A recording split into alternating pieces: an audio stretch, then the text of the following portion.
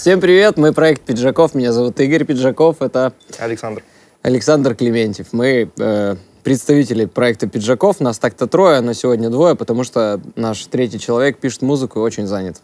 Вот. И не, не смог прилететь в Москву. Ну, на самом деле, опоздал на самолет. Да, на самом деле опоздал на самолет, и мы не стали его покупать новый билет, потому что он нам не нужен. Мы приняли такое решение. У нас вышел недавно трек, он называется... Как? Крим- Криминал. Криминал, да. Я почему-то называю Панамера, хотя так нельзя. Называется Криминал. Мы абсолютно поменяли формат нашей музыки. И какой у нас раньше был стиль? Стиль, приближенный группе «Руки вверх». Ну, да, потому и, что... и это не просто так. Да, не просто так, потому что нашим продюсированием занимается Сергей Жуков, и мы, ну, типа, нет, шучу.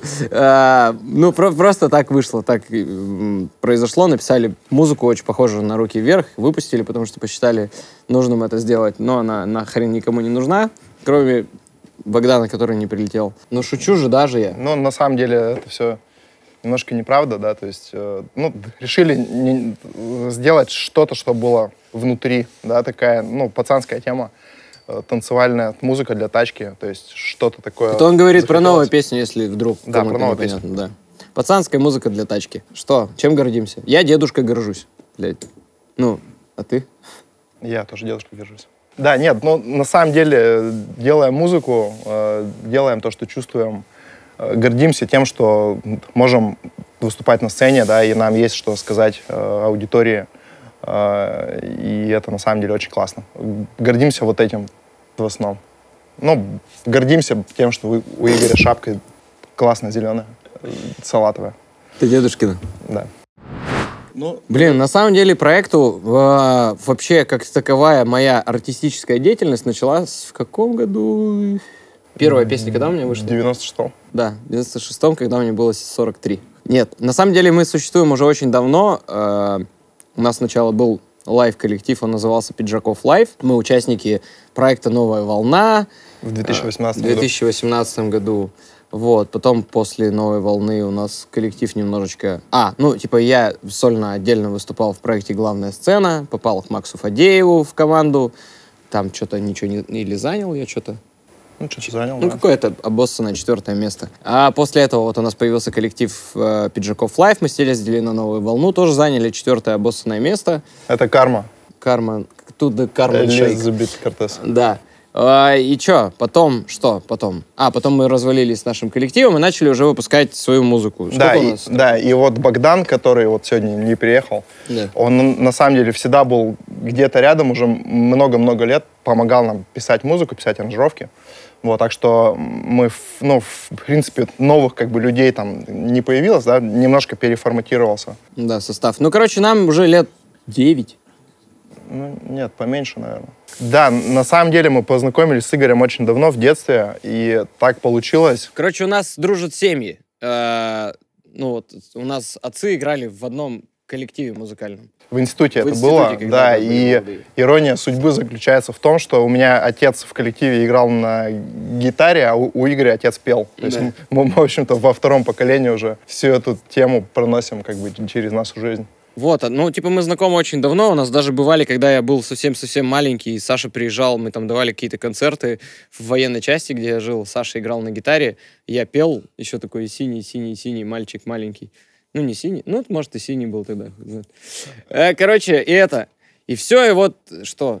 А, что? Ну, потом мы в театре эстрады с А, Игорем ну да, работали. в театре играли, То в есть этом... был, была такая тема, что мы были всегда как бы рядом, но при этом еще тогда в- вместе не работали. А вот когда уже Игорь э, съездил на главную сцену, он вернулся в Екатеринбург буквально там месяца на два и как бы решил собрать коллектив и позвонил сразу же мне, ну, для того, чтобы... Короче, в Екатеринбурге музыканты знают друг друга. Все. И поэтому, ну как, любой музыкант с музыкантом общается. И, естественно, я хотел собрать тогда коллектив из лучших ребят. И, естественно, я позвал Сашу, потому что Саша лучший гитарист э, Карабаша. Золотые струны Свердловской области. Мастер спорта по спорту. Ну, пока коронавирус в Екатеринбурге, а так, ну, тут бываем больше, наверное, даже, чем там. Такая история, как, как из фильма, на Да. самом деле, о мечте. Короче, э, история такая. Мы в момент начали все люди переделывать, ну, то есть все артисты начали переделывать старые какие-то хиты, вот, ну, типа известных довольно-таки групп. И мы подумали, блин, почему бы и нет, давайте попробуем. Давайте переделаем какую-то песню на новый лад. И вот Богдан спрашивает, блин, какую будем делать песню? Я говорю, давай какую-нибудь песню группы «Руки вверх». Да, ну потому что это в душе, мне кажется, у каждого вообще человека в нашей стране дискотеки, то есть это все, ну, целое, целый пласт истории такой, как, которая всех нас коснулась, как бы так или иначе. Ну, короче, мы э, выбрали «Мне с тобой хорошо» песню, потому что я в детстве за нее кайфовал, вообще по-страшному, за клип кайфовал, потому что там это, по-моему, первый российский клип с такими спецэффектами был балдежными. Его, кстати, снимали, он говорил, что-то чуть ли не месяц вообще, mm-hmm. этот клип. Там пипец денег вложили в него. Не суть. Все, мы сделали этот трек под трэпчик, я думаю, ну, типа, мы оставили припев тот, который был, но только в трэповой ситуации. Мы подумали, надо отписать права. Ну, почему бы, да, очистить права, чтобы выпустить трек просто для себя. Вот, начали искать выходы там по, по знакомым, там, я алло, там, одной, второй, там, помогите, найдите там телефон менеджера, чтобы связаться все дела, там мне какие-то номера давали, я звонил, мне говорили, иди в жопу, ты вообще кто такой, откуда ты, нет никакой группы «Руки вверх», я не занимаюсь далее. Короче, это было довольно-таки долго. Вот, но потом я обратился к э, чуваку знакомому из Екатеринбурга, он тоже раньше в, э, в кавер-команде играл, Потом начал, э, ну, в общем, заниматься своей музыкой и стал довольно-таки популярным, потому что пародирует голоса э, звезд. Его зовут Кирилл Нечаев.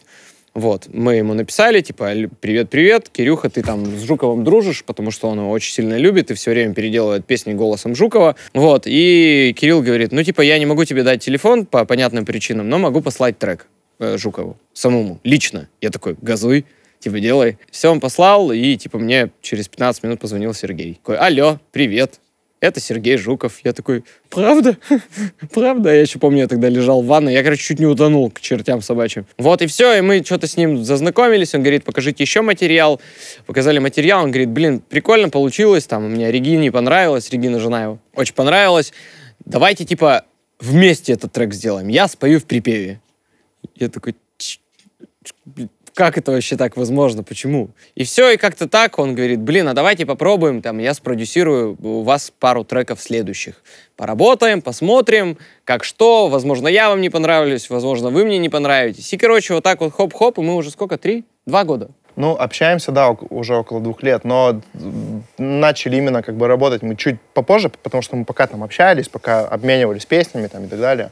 Вот, но мне с тобой хорошо, получается, вышло в ноябре 2019 года. Короче, вот с ноября 2019 года мы вообще не разлей вода. Он очень крутой мужик, замечательный продюсер, товарищ, я не знаю, батя музыкальный наш, который ну, советует как, нам, да. Как отец, вот на самом деле такой творческий, очень открытый человек, очень сильно его Реально, типа 24 на 7 с нами на связи, там что-то, что-то мы ему посылаем, он говорит, плохо, ребята, переделывайте, должно быть круче, вы можете больше. Ну, короче, очень, очень круто, какой-то вообще сумасшедший прикольный союз у нас получился, и типа он там считает нас своей семьей уже. Вот, и поэтому, блин, это, наверное, лучшее, что могло с нами произойти с точки зрения музыкального бизнеса и вот этой всей индустрии, попасть к такому человеку. А и так, и так. То есть мы и в начале концерта как бы разогревали, получается, и, в, и в середине концерта мы выступали. Ну, то есть так по настроению нас ставили там, да. Короче, потому что мы проект э, продюсерского центра «Руки вверх», поэтому батя нас все время с собой берет и такой типа, давайте. И все, у нас выходит песня, и мы ее поем. Еще одна песня выходит, и ее еще поем. Но все равно это там набирали какую-то аудиторию для себя. Понятно, что фанаты группы «Руки вверх» — это люди, ну, как правило, в возрасте, ну, кстати, молодежи да, тоже там но очень молодежь на концертах, безусловно, присутствовала. Там были и дети, и люди там 17-18 лет, подростки. Вот. И эта аудитория, ну, типа, в любом случае добавлялась к нам в каких-то там соцсетях, э, выбирала из нас там для себя каких-то фаворитов. Ну, короче, кайфово было, очень круто. 2020 год для нас был говно обоссанное. Нет, на самом деле, это год, ну, типа, для всех, наверное, такой. И он, наверное, показывает нам на то, что нужно все равно продолжать заниматься тем, что любишь, и ни в коем случае не сдавать. Короче, остаются сильнейшие. Вот. И, наверное, 2020 год для нас был, ну, довольно-таки прорывным годом с точки зрения написания музыки. Вот, да, кстати, это очень важно. То есть э, не хватало очень сильно концертов, да, то есть мы очень много до этого ездили, и здесь, э, когда все сели дома, да, то, то есть появилась возможность покопаться внутри себя, и на найти в себе что-то, что ты можешь сказать еще.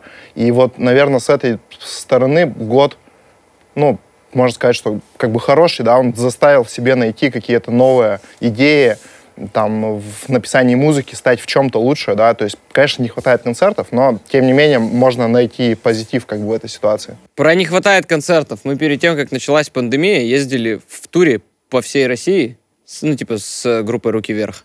И, типа, там, ну, стадионы. Да, ну, то есть там каждый день был дворец спорта, дворец спорта, дворец спорта. 10 тысяч человек, 10 тысяч человек, 15 тысяч человек, 15 тысяч человек, и идите в жопу. Да, и мы это вот особенно сильно почувствовали, что вот, вот эту черту, что вот это все как бы резко закончилось, и мы сели домой и вообще офигели. Так есть, и, и что делать теперь? Вот эта вот энергия, да, которую ты постоянно получаешь, она как бы раз и закончилась очень резко. И это было, ну, конечно, не, не просто с, с моральной точки зрения. Не, ну но... ну все, мне кажется, все это перебарывали, типа вот это состояние сидеть дома, там работать, находить все силы, заниматься спортом и так далее, собой. Ну, типа для нас это было тоже непросто, но... Ну, как и для всех тем не менее, найти позитивные какие-то моменты в этом ну, получилось в любом случае.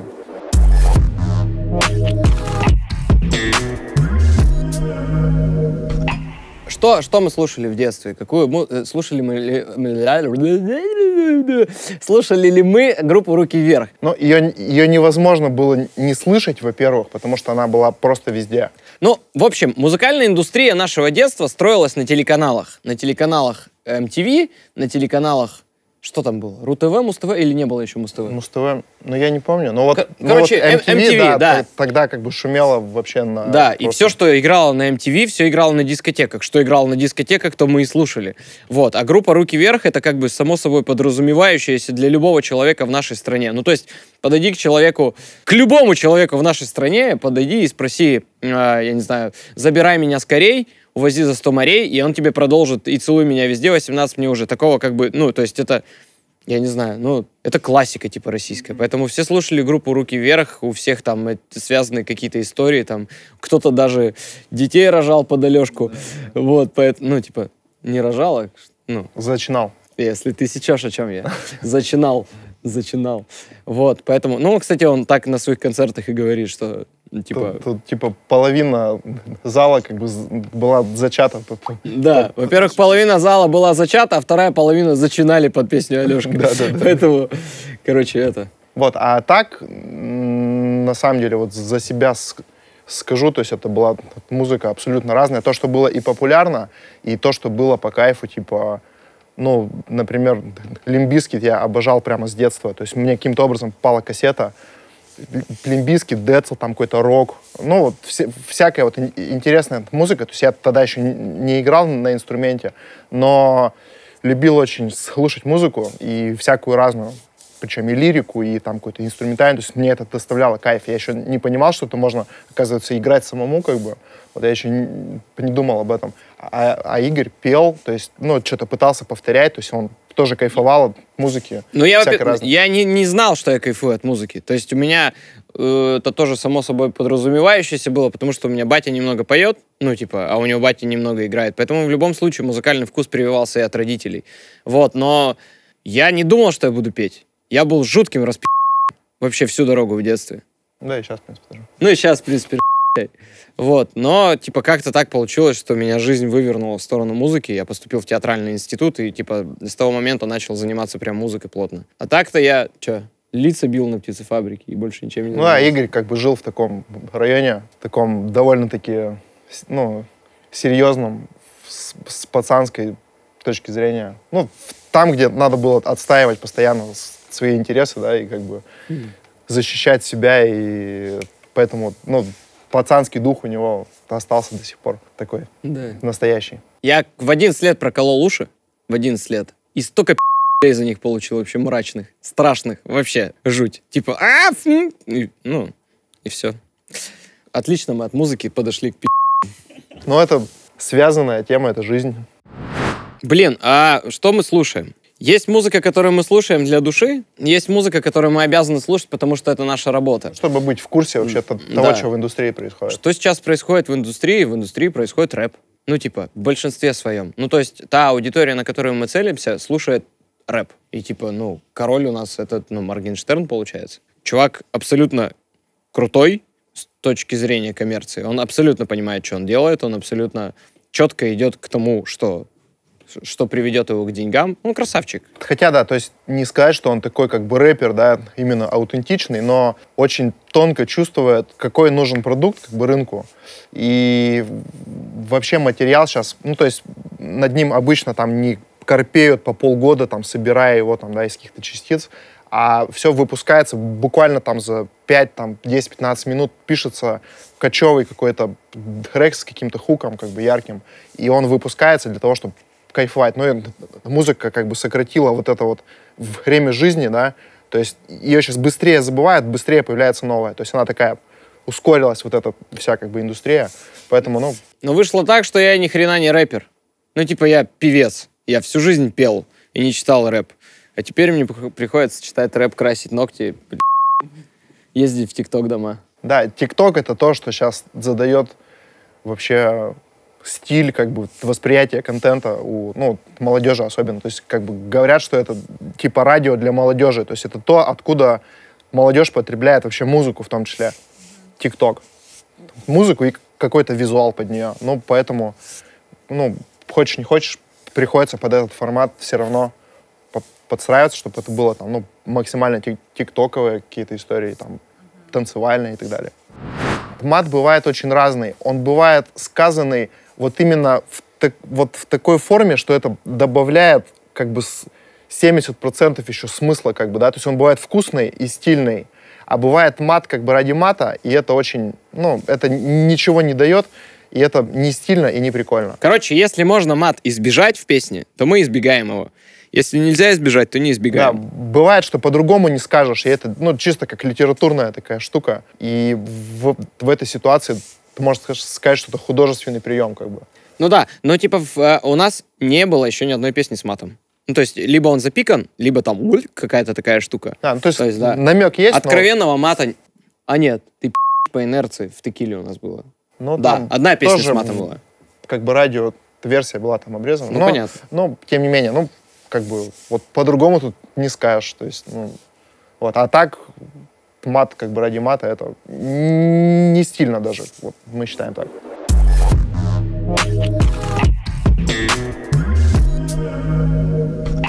Да вряд ли. Не, не лопнет. Не лопнет, потому что ТикТок, как и любая социальная сеть, только развивается. Ну, в смысле того, что сейчас ТикТок находится на стадии, стадии вообще сумасшедшего прогрессирования, с точки зрения того, что он набирает огромное количество людей, которые пользуются ТикТоком, и ТикТок предоставляет все новые и новые возможности. То есть скоро формат вот этих спичев маленьких перейдет в большие какие-то видосы, блогеры зайдут туда, зайдет туда реклама. Короче, ТикТок — это та платформа, которую надо страшно развивать сейчас. Да, то есть он сейчас уже скоро может и потеснить уже YouTube, потому что большие ролики, как вот Игорь сказал, уже можно будет выгружать. Туда сейчас активно заходит весь бизнес, реклама, и поэтому он будет только как бы расти и развиваться. Ну, короче, мне кажется, что э, Инстаграм в любом случае останется, но его ТикТок подуберет. Вот, поэтому, блядь, снимайте ТикТоки. Реально, если вы хотите зарабатывать бабки, снимайте ТикТоки. Мы недавно были в ТикТок-доме с Сергеем, кстати. Короче, мне стыдно, что я очень поздно начал этим заниматься, потому что я бы уже зарабатывал на этом ТикТоке. Да, и, и, и очень интересно, что это платформа, в которую ты можешь зайти вообще без копейки, чисто только за счет контента, что очень тяжело сделать в Инстаграме сейчас или там на Ютубе, например. Ну и в ТикТок скоро будет тяжело, на самом деле. Ну, это да, потому что сумасшедшая конкуренция, все равно он когда-то начнет монетизироваться, да, но пока еще есть там немножко времени для того, чтобы там ну, и самое главное, это, наверное, делать что-то вот оригинальное, что-то то, что... Ну, свою индивидуальность показывать. Это всем интересно. Ну, то есть... У нас видос, где Саша на бутылку сел 6 миллионов набрал. Шучу, нет такого видоса, но сегодня снимем. Мне не нравится ни одна соцсеть. Вообще. Ну, типа, я не человек, который любит там и выложить. Вот, ну, типа, я занимаюсь соцсетями только с точки зрения бизнеса и продвижения нашего артиста как такового. Поэтому, ну, сейчас ТикТок, и как бы сижу больше всего в ТикТоке, потому что надо искать референсы, надо искать какие-то идеи, видосы и так далее, заливать туда по 5-6 по 6 роликов в день. У меня скоро выпадет мозг через ухо, но типа это надо просто делать. Это просто работа. Вот, поэтому для меня это ТикТок, для Саши, наверное, Инстаграм, ну, Контакт. Ну, Инстаграм и YouTube, я бы сказал, я бы отнес его все-таки тоже к соцсети. То есть я ну, подавляющую часть как бы контента для себя и какого-то развлекательного, и какого-то, ну, типа, полезную какую-то информацию всегда ищу как бы на Ютубе. Вот, и много времени там провожу как бы на самом деле. Ну и Саня ну, еще очень любит Одноклассники. Да, ну это... Ну это его личная тема. Старая моя любовь, да. Типа скиньте денег на на лечение, там, так, такого сейчас очень много. Не, да, на самом деле вот эти вот все движухи, типа, болеет ребенок, помогите, наверное. Ну, это, типа, самое большое. А так интересного, да, ну... Ну, обычно это такие не, не очень информативные сообщения, типа, классные песни, там, понравилось, там, супер, ждем еще, ну, то есть на это тяжело даже что-то конструктивное там ответить. Если ждете ответ, скидывают ли нам сиськи, нет, не скидывают. Не скидывают. Ну, типа, может быть, даже и скидывают, но мы не просматриваем эти сообщения, потому что, блядь, Потому что наша аудитория бабушки за 60. Шучу. Да нет, мне гиюги даже был... Ой, ой, извините, пожалуйста, вырежите это. Я вообще нормально к меньшинствам отношусь. Марсель, прости. Вот. Ну, бывает, короче, пишут мальчики. Ну, типа, у там вот откуда-то даже находят мой телефон зачем-то и пишут ватсапчики. Мальчики, я э, нормально к вам отношусь, но я натурал, реально. Сос расшибу. Ну, вот будете писать такую дичь мне, конечно. Правда. Со всей силы. Я нельзя, да, было так говорить? Сая. Сая. Спаси. Мы очень любим вступить с ними в диалог, но очень на высокоинтеллектуальном уровне. Ну, то есть немножко потроллить, как бы, и писать нарочито очень, как бы, культурно, и там говорит спасибо за, за ваше... Ты чё, пи***? Ты что, не помнишь, как ты написал там одному хейтеру не очень культурно? Короче, на самом деле, да, мы нормально относимся к хейту, к хейту, хейту, хейту. Вот, но бывают такие ситуации, когда просто хочется поржать. Да, ну чисто выплеснуть энергию. Я да, один раз написал, то есть он на, написал комментарий под фотографией с Филиппом Бедросовичем, да. что мы петушары. Вот, и я такой, ну погнали, как бы. И просто как просто в самом подворотне, короче, последними словами, просто его там вот такое в стену текста ему написал, как бы все, что я о нем думаю. Вот, и он потом, кстати, извинялся, что, блин, чуваки, извините, я что-то погорячился. Типа, Почему он извинялся? А, а, Игорь потом начал тоже с ним общаться в личке и объяснять ему, что он не прав и почему он как бы не прав. Вот, и... Я же типа пацан с птицефабрики, я любому объясню, что он не прав. И, и я ему... Причем, я кстати, ему там... Игорь это делал культурно, без мата, но очень доступно как бы, что ему придется за свои слова ответить. Ну, мы обычно, э, это было так, как это, бы формат ну, просто шутки. реально поржать. Да, да, а так, на самом деле, ну, э, если ты делаешь что-то чего там не делать 99% как бы людей. В любом случае, да, будет хейт. Неизбежно и, да. вызывает, ну, зависть или какие-то А так это норма вообще эмоции. ситуация. Пусть хейтят. Хейтят, да. значит, разговаривают о тебе. Разговаривают о тебе, значит, ты кому-то нужен. Поэтому пишите я вообще с удовольствием. Да, поэтому мы как бы, ну, так с юмором к этому относимся. По-другому никак. Под одним из треков нам в комментариях чувак, ну, там, пишут говно, шляпа, там, ну, это, типа, все само, само собой разумеющееся. Но одна фраза мне очень понравилась. Ну, чувак, то есть, зашел, посмотрел наш видос, спустился ниже в комментариях, там, я не знаю, зарегистрировался в Ютубе, чтобы это делать, и написал «Сассандра пиджачная». Да. Это было так круто вообще. Вот эта фраза, она в нашем сердце навсегда. Спасибо, брат. Просто это... Будь с нами. Это гениально. Сассандра Пиджачная, гимн 2020 года.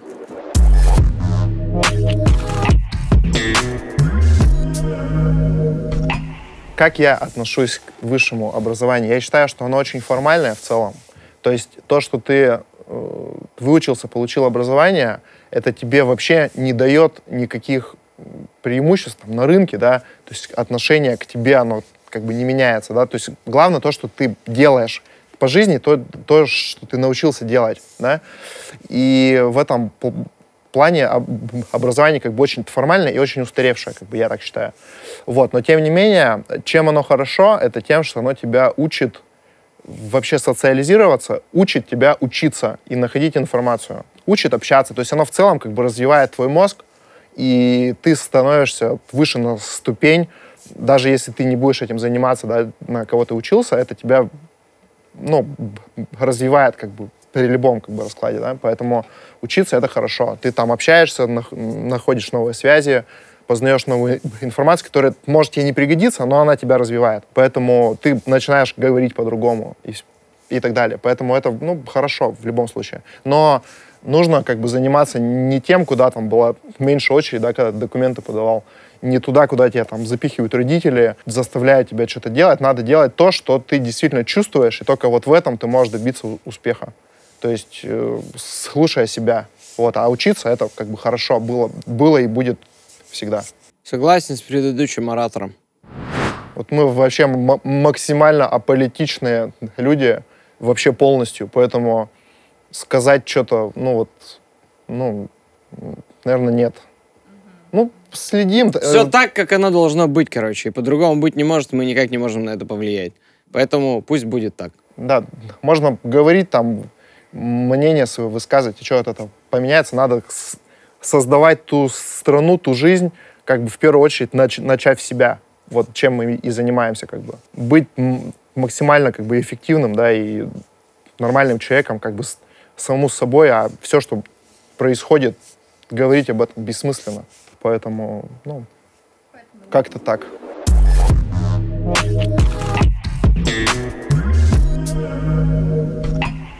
Идеальные отношения — это то, когда ты топишь за какую-то свою тему, ты, ну, у тебя есть какие-то амбиции, ты в чем-то развиваешься, да, пытаешься чего-то добиться, а твоя половина, она такая же, как ты, то есть она, у нее тоже есть какой-то свой интерес, и, и вы вот, ну, как партнеры, да, то есть строите вот эту жизнь вместе, друг друга поддерживаете, вот, а не очень хорошая ситуация, это если один вот такой, а второй вот ничем не интересуется, да, и выносит мозг первому, вот, и типа, ты где там, ты мне выделяешь мало времени, ты, ну, это очень тяжело, вот, поэтому должно быть как-то все, ну, вот, типа, идут вместе в одну сторону, и при этом у каждого есть своя жизнь, вот это очень важно, мне кажется. Верно?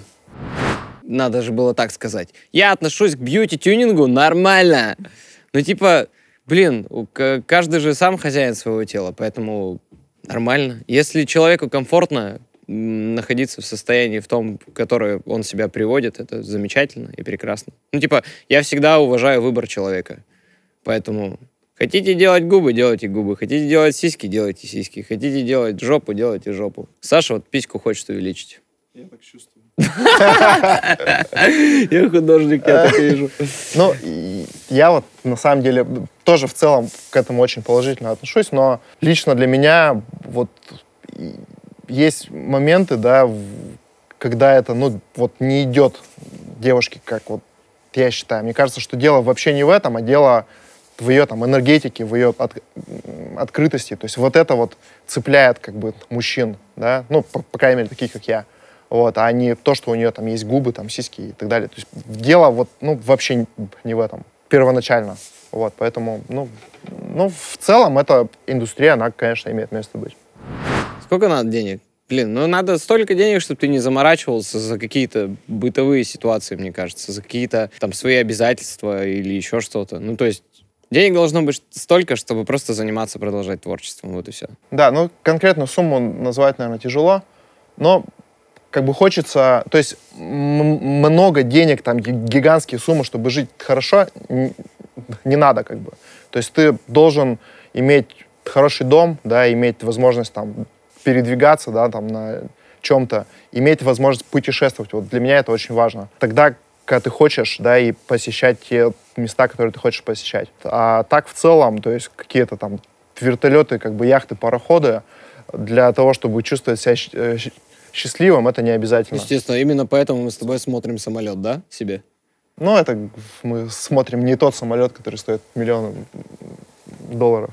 Вот, но деньги, деньги, конечно, нужны для того, чтобы чувствовать комфорт, вот, но циклиться на них не нужно, тогда они не, не, не дойдут до тебя, если ты на этом циклишься. А если ты занимаешься своим делом, да, то, во что ты веришь, то они при- приходят сами собой, и самое главное чу- чувствовать себя счастливым. Вот, а остальное, оно придет.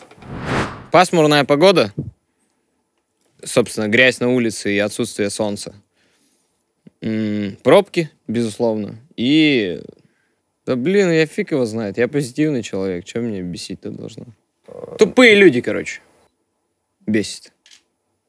Тупые. Э, Бесит, когда не хватает на что-то времени.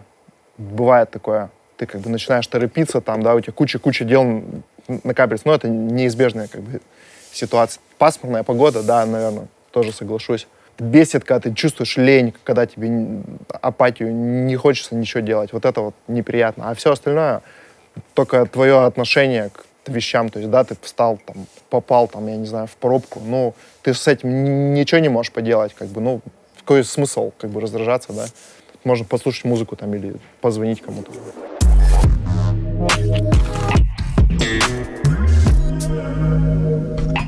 Да все такие же, только чуть больше седых волос и морщин. Позитивные, веселые, радужные. И чуть-чуть кожа сморщилась, и татуировки уехали. Так мне мама говорит. Идиот говорит. Да все классно у нас будет. через Кто 10 знает, но если вы имеете в виду стиль, сложно сказать. Это ну, непредсказуемо. То, что будет там внутри, да, происходить в этот момент, что будет вообще в мире происходить. Как бы есть музыка хорошая, есть плохая, есть настоящий, не настоящий. Стилей никаких не существует. Да, у нас выходит в середине января следующая песня. А, ну, пока не будем спойлерить, но это будет такой очень пози... ну, как бы движовый, позитивный, клевый тиктоковый трек. По-любому он вам очень понравится. Вот. Ну, то есть пока что не, не, там, не медляк, не печаль. Но, кстати, ме- медляк скоро опять нужен какой-нибудь хороший. Ну, пока чуть позже.